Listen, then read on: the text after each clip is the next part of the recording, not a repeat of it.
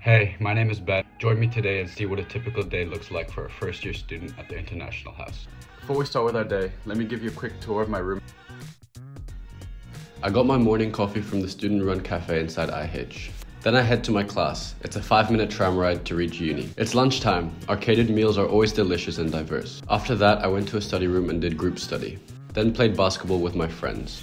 Had dinner with friends in the dining hall and that's the end of my day. Thanks for watching.